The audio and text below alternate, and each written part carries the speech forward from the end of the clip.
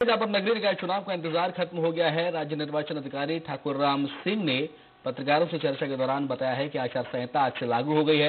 नामांकन की प्रक्रिया 30 नवंबर से शुरू होगी। 9 दिसंबर को तीन बजे तक नाम वापसी के बाद चुनाव चिन्ह आवंटित किए जाएँगे। 21 दिसंबर को मतदान होंगे। निर्वाचन की जो अधिसूचना होती है, कलेक्टर लोग जारी करते हैं, वो जारी होगी तीस तारीख को। तीस तारीख को ही आरक्षण की सूचना लगेगी, सूचना पटलों पर जिलों में, तीस तारीख को ही।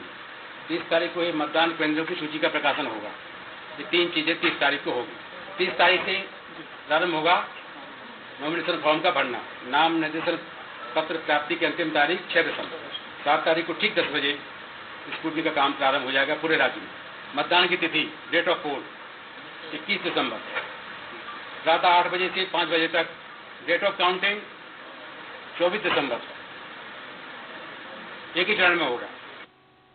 छत्तीसगढ़ राज्य निर्वाचन आयोग ने नगरीय निकाय चुनाव की घोषणा कर दी है और इस वक्त हमारे साथ राज्य निर्वाचन आयुक्त तो ठाकुर राम सिंह जी हमारे साथ हैं उनसे जानते हैं सर अधिसूचना जारी कर दी गई है कब कब का क्या प्लान है?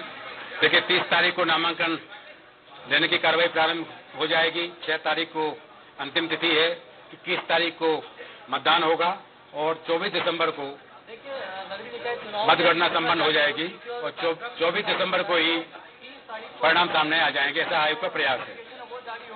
आचार संहिता आज से प्रभावी है या तीस के बाद होगा? राज्य निर्वाचन आयोग द्वारा निर्वाचन की घोषणा करने के उपरांत ही प्रदेश में नगरीय क्षेत्र में नगरीय क्षेत्र में आधार आचार संहिता का का प्रभाव हो गया है और मॉडल कोड ऑफ़ कंडक्ट तुरंत प्रभावशील हो गई। जैसे आपने कहा नगरीय क्षेत्र में मतलब इसका जहाँ जहाँ चुनाव निर्वाचन क्षेत्र है एक सौ एक सौ इक्यावन नगर पालिकाएँ हैं जिसमें नगर निगम नगर पालिकाएँ नगर पंचायत है। इन्हीं क्षेत्रों में आदर्श आचार संहिता प्रभावशील रहेगी बाकी जगह नहीं। तो आप आपसे जानना चाहेंगे इस बार बैलेट पेपर से चुनाव हो रहा है क्या कारण है? जी? बैलेट पेपर से चुनाव नहीं बैलेट पेपर में संशोधन हुआ है कानून में और हमने बार बार कहा है कि कोई नई चीज़ नहीं है। पंचायत के निर्वाचन हम बैलेट पेपर से करा दिया है। हमें कराना भी है आगे। इसका भी इसका भी संशोधन हुआ है। उसके लिए आयोग तैयार है हमें तैयारी इसके लिए भी पूरी हो चुकी है। तो अभी आपने सुना ठाकुर राम सिंह को जिनका कहना है साफ़ है कि आज से आचार संहिता नगरीय क्षेत्रों में लागू हो गया जहाँ यहाँ पे प्रत्याशियों का चयन होना है। तो इस तरह प्रदेश में आचार संहिता लागू हो गया है। रायपुर से कैमरामैन के साथ सत्या राजपूत। केंद्र सरकार की आर्थिक नीतियों और देश की बदहाल